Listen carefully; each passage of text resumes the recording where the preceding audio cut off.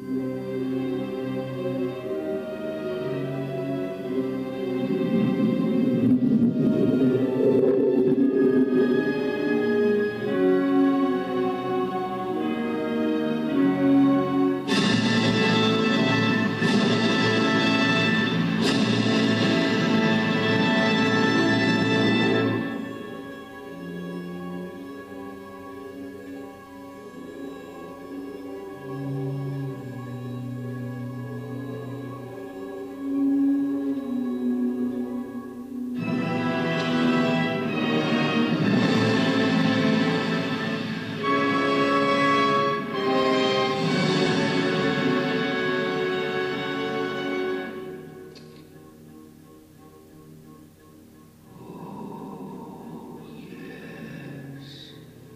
Yes, my soldiers.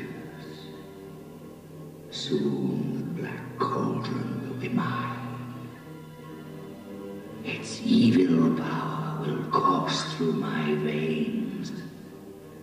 And I shall make you cauldron born.